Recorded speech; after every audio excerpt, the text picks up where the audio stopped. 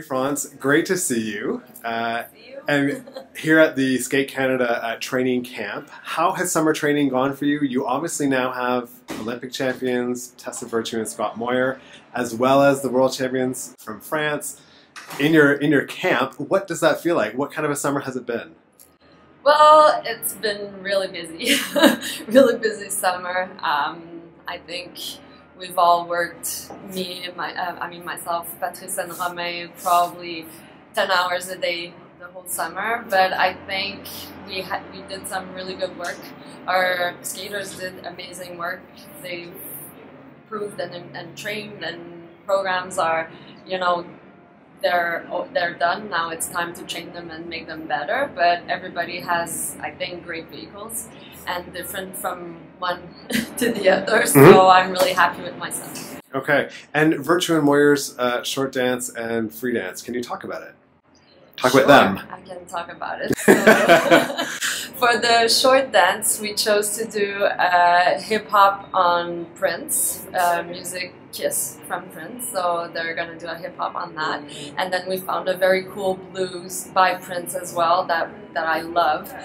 And we finished with uh, the solo guitar of Purple Rain. So it's a really nice edit. It flows well, and I think it suits their their style and their they're skating to, to perfection. Mm-hmm, mm-hmm.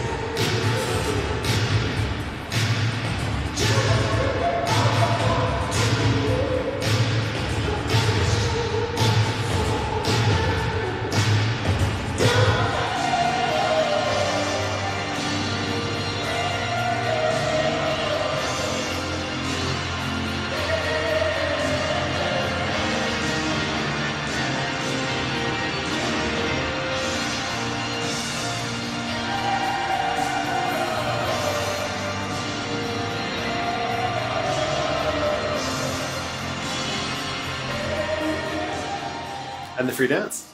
The free dance, we did a, a theme on second chances.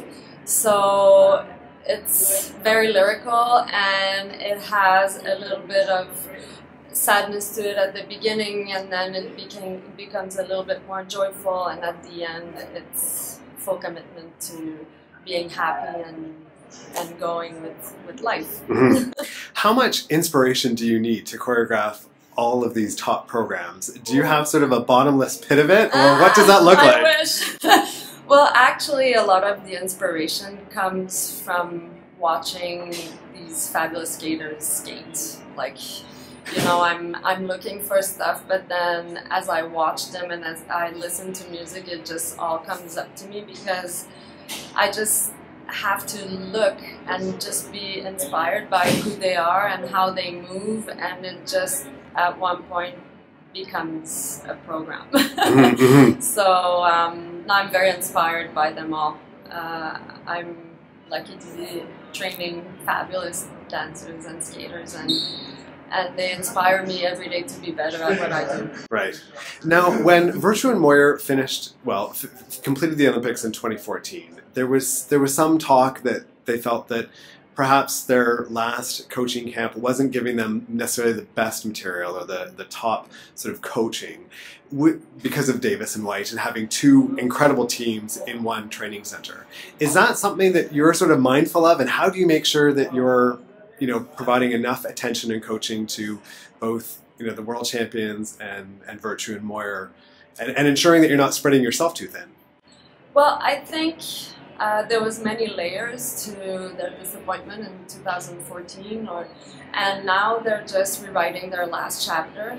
Uh, they're more mature and they're now real, really growing into career athletes. They're, you know, they're getting more knowledge about training and, and a lot of different layers in in becoming, you know, uh, an Olympic athlete. So um, they have a full off-ice team, uh, and uh, so does Gabby and Guillaume. So everybody has their own off-ice team and people to support them being at the top. And then when they're together on the ice, uh, they have fun. They cheer for each other, and they're really good, you know, really good training mates. So for us, it's been, uh, we were a little bit worried about it at first, but then knowing each of them and how generous they are as people and, uh, and both of these teams, I mean, they're champions and they know that it comes down to them and how they train and how good they take care of their, uh, you know, physical health, mental health, everything. Mm. If everything goes as planned, then they'll be at the best level they can be. So they, I think, both of these teams are champions enough to know they have to rely on them, their, them own self. Mhm. to be at the top of their game. Mhm. Last question: What have you learned about yourself now coaching both of these top teams?